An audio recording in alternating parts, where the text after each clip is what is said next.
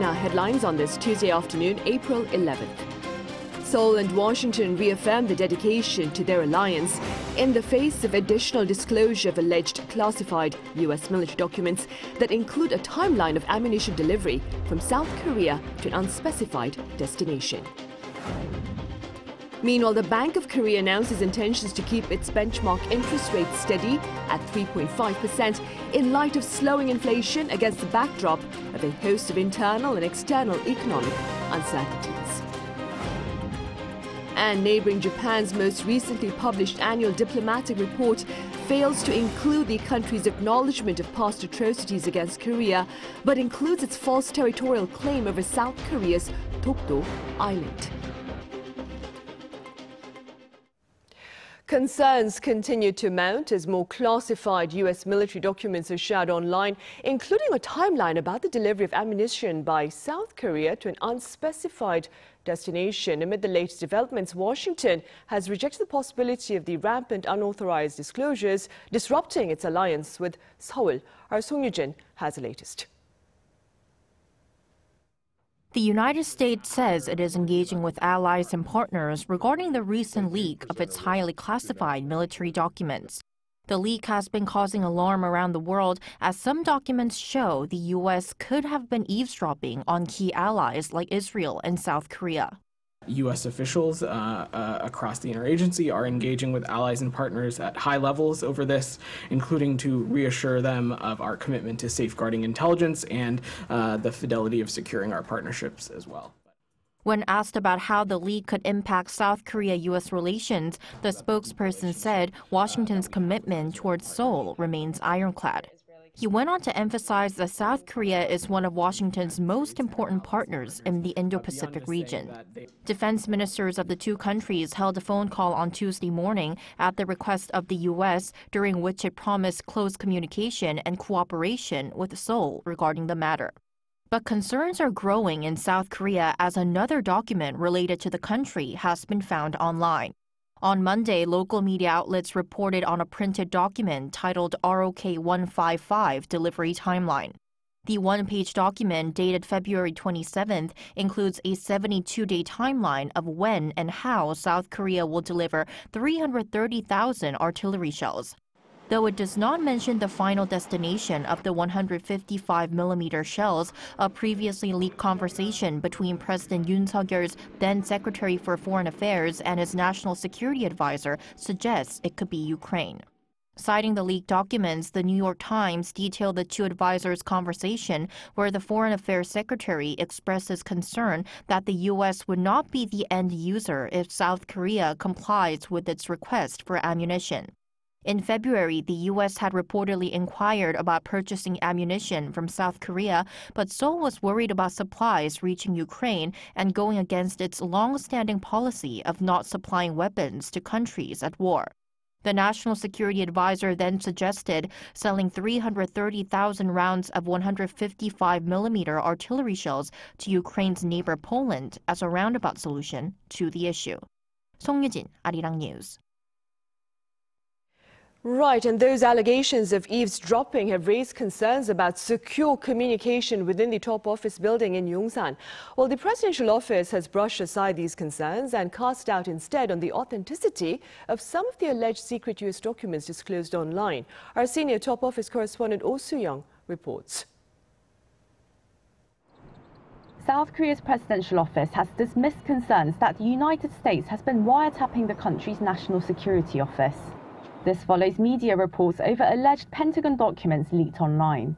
In a phone call with Yonhap News on Tuesday, a presidential official said eavesdropping and wiretapping of internal conversations at the top office building in Yongsan is impossible, saying that a highly stringent anti-wiretapping system was put in place when relocating from the Blue House last year. The official also brushed off concerns that the contents of National Security Office meetings held in the underground of the Yongsan building were compromised drawing a line on whether a conversation between two senior personnel took place within the premises. This comes after classified documents seemingly leaked from the Pentagon were reported in US media. The documents appear to contain conversations between South Korean national security officials. The intelligence leak has stirred controversy over whether the US is wiretapping its allies, and comes over just two weeks before Yoon summit with Joe Biden in Washington, D.C. Seoul's presidential office has maintained that the reports are unconfirmed and are likely to have been fabricated. It says discussions with the US and verification of the details should be prioritized. You know, obviously, there's a, a, red line. Every state has them. It, it, accepts, you know, spying and espionage even from friends and allies up to a certain point. But at some point, there's a sort of, you know, unspoken uh, code of conduct or an unspoken set of rules that states are supposed to follow. And I think South Korea, you know, will want to reiterate that to the United States. First Deputy Director of the National Security Office, Kim Tae-ho, told reporters on Tuesday that Seoul and Washington agreed there has been tampering of details in the documents and the leak cannot be a variable in Seoul and Washington's relations. He said that since the two allies are closely engaged in information sharing, the crisis can be turned into an opportunity to solidify trust and strengthen the cooperation system between the two countries. Oh Soo-young, Arirang News. Also, on the diplomatic front, Japan's latest annual report on diplomacy makes no mention of the country's apologies for past atrocities here in Korea, as did its previous editions. Our foreign affairs correspondent Pei Ji explains. Last month, the South Korean government announced its plan to compensate Korean victims of Japan's wartime forced labor through a public foundation, instead of through the Japanese firms found guilty by a South Korean court. At the time, Japan's foreign minister said he hoped the solution would help restore ties between the countries and said the Japanese government will continue to uphold the apologies it made in the past. On this occasion, we confirm that the Japanese government continues to uphold the stance on historical recognition made by previous cabinets as a whole, including the joint declaration between Japan and South Korea made in October 1998. But this was not included in Japan's newly published diplomatic blue book an annual report on Japan's foreign policy and activities released on Tuesday. Regarding the issue of compensating wartime forced labor victims, the report explained that Seoul and Tokyo have been discussing it since President Yoon Suk-yeol took office in May, through diplomatic channels and at the recent summit between the two countries' leaders. But the report did not explain the fact that Foreign Minister Yoshimasa Hayashi has said the Japanese government will uphold the stance made by previous cabinets including the joint declaration between South Korea and Japan in 1998. The joint statement in 1998 between former South Korean President Kim Dae-jung and former Japanese Prime Minister Keizo Obuchi includes Tokyo's, quote, deep remorse and heartfelt apology for causing tremendous damage and suffering to Koreans during its colonial rule. The latest report also said South Korea has continued an illegal occupation of Dokdo Island, which they refer to as Takeshima, with no legal basis. Japan has been saying this in its annual diplomatic blue book for six years, since 2018. In response, South Korea's foreign ministry spokesperson said in a statement on Tuesday that Japan should immediately retract the unjust sovereignty claim to what is an integral part of South Korean territory historically, geographically, and under international law. The ministry also called in Naoki Kumagai, the deputy chief of mission at the Japanese embassy in Seoul, to protest. Peunzi, Arirang News. South Korea has shared deep regret as North Korea remains unresponsive for the fifth day to routine cross-border communication via the liaison channel and the military hotline. In a televised statement on Tuesday, Seoul's Unification Minister Kwon Young-se found fault with Pyongyang for its unilateral and irresponsible action, adding that it would only serve to further isolate the regime. Kwon also condemned North Korea's use of South Korean facilities at the now closed Kaesong Industrial Complex, underscoring the infringement of property rights as agreed under the broader joint accord over the complex. And North Korea's Kim Jong-un has reportedly ordered his military to ramp up war deterrence capabilities, according to the regime state-run media on this Tuesday. Kim presided over a military key military meeting that would be the day prior, during which he urged the need for practical and aggressive expansion of war deterrence. The report added that the meeting was convened in response to, quote, the aggressive acts and policies of South Korea and the U.S. Similar meetings were held in February as well as in March, and pundits are taking note of these developments as such meetings are reportedly held every six months or so.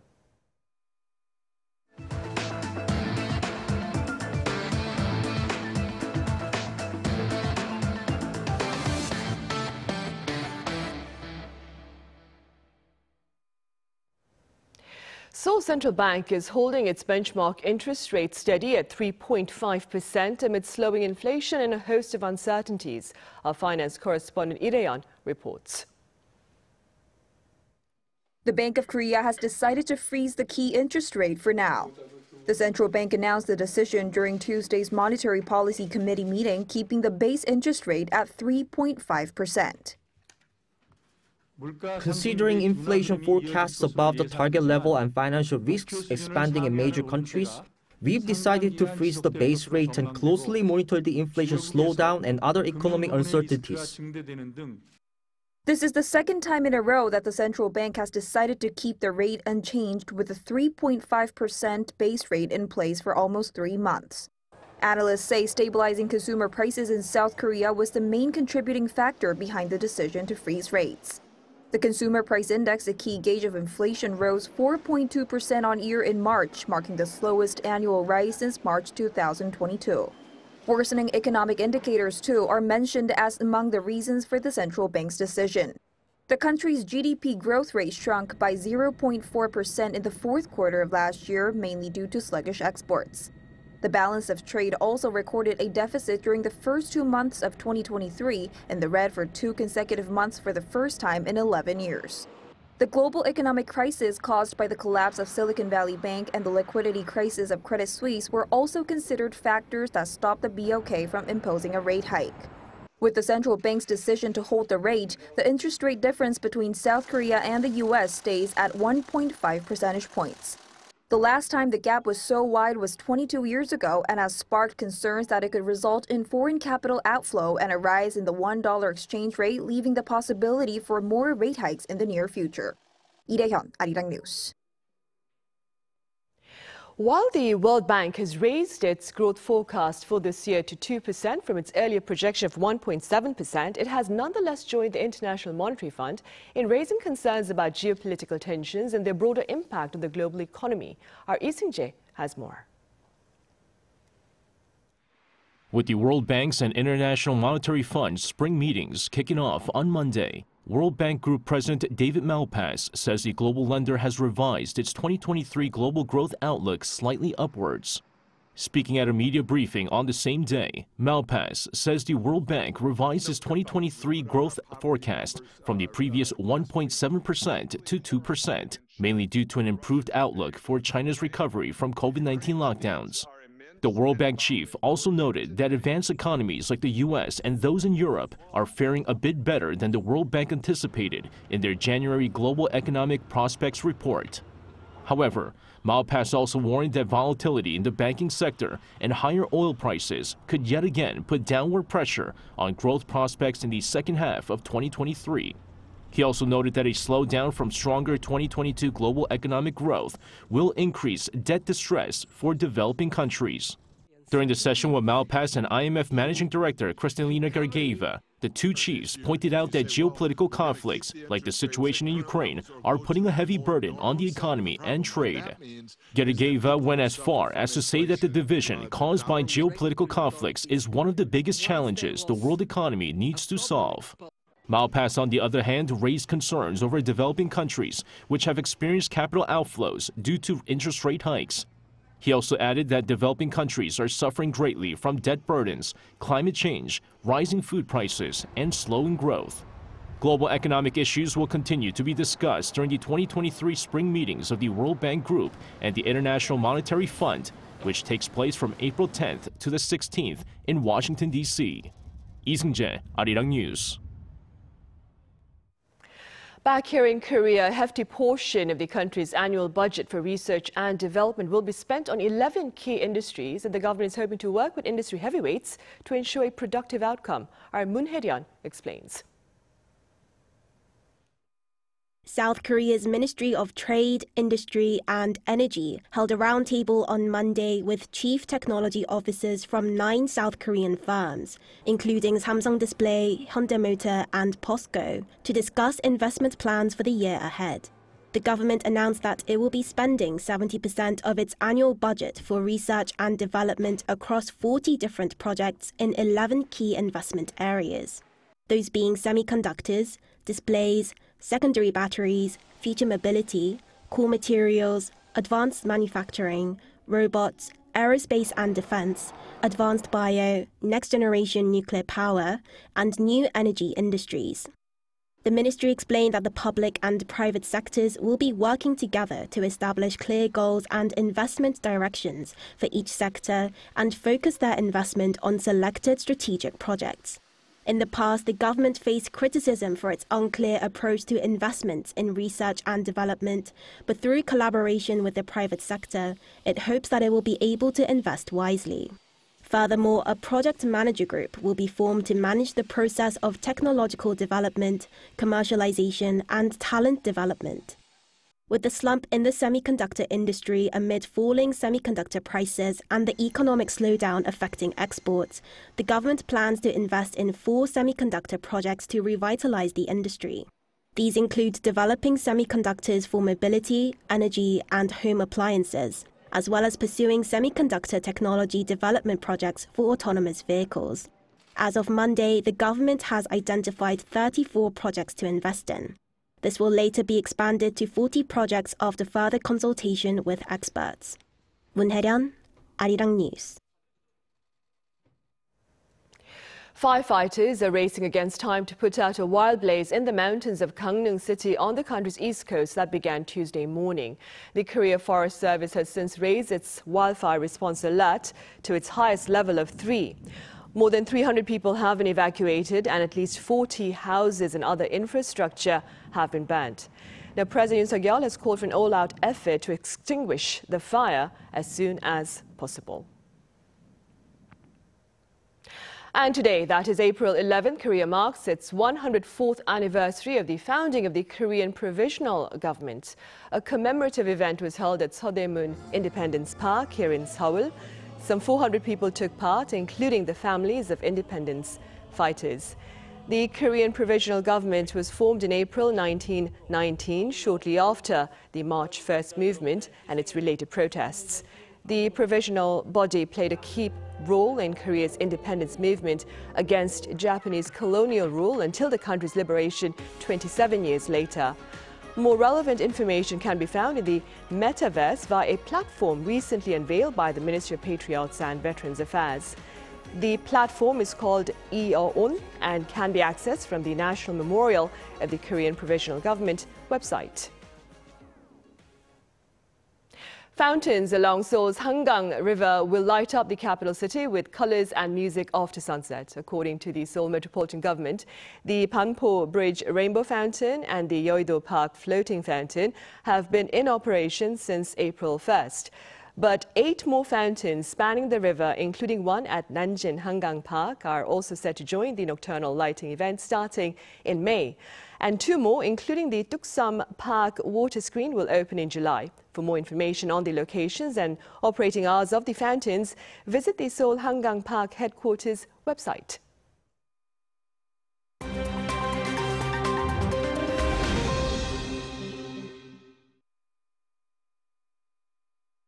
Let's take a look at what's going on in the world now.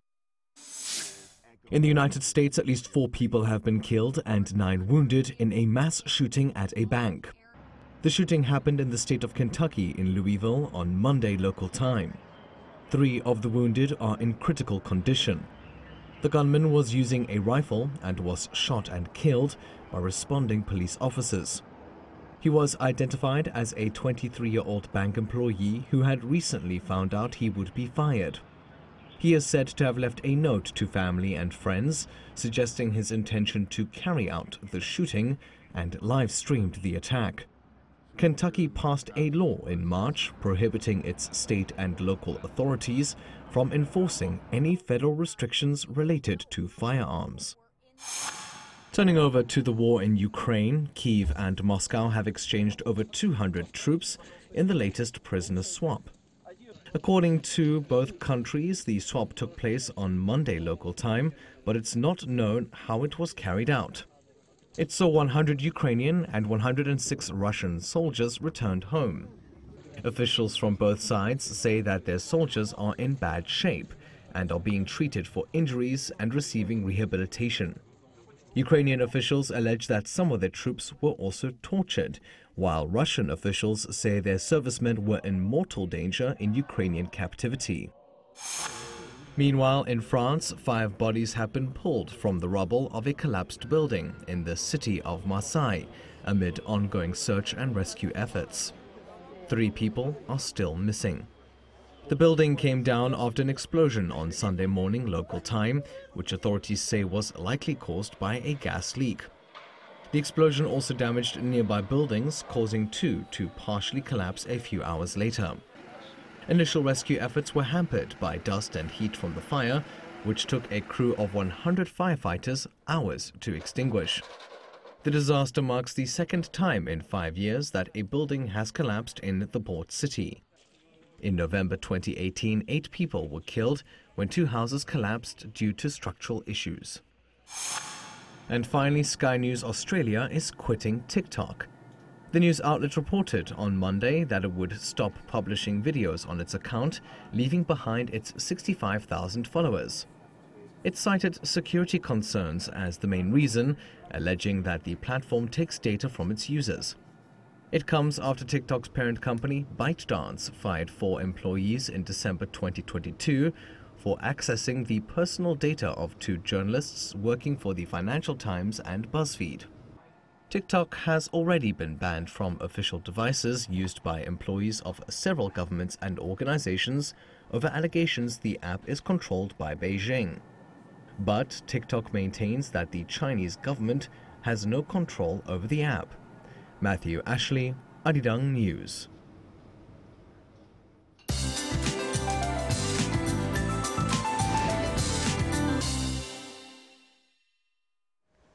Good afternoon. It's amazing to see how weather patterns can switch so quickly in just a day, from fine spring weather to a typhoon force windy day.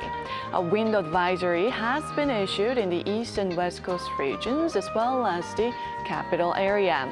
In fact, the mountainous regions in Gangwon-do province are seeing violent gale force winds of 110 kilometers an hour. While it could be difficult to stand without holding onto something and even cars will not be able to drive at normal speed. And along with violent winds, rain is soaking the nation, Try not to get wet by today's rainfall. It is very likely that rain will be mixed with yellow dust today. A strong umbrella is a must or have your raincoat ready to avoid that dusty rain. Daily highs are slightly lower in central regions, but going up as high as Monday in southern parts of the country. After the rain, colder air moves into the country, dragging down the morning temperatures to just 5 degrees Celsius here in the capital tomorrow, about 10 degrees lower than this morning. Then another band of rain is in the forecast between Friday and Saturday. That's Korea for you, and here's a look at the international weather conditions.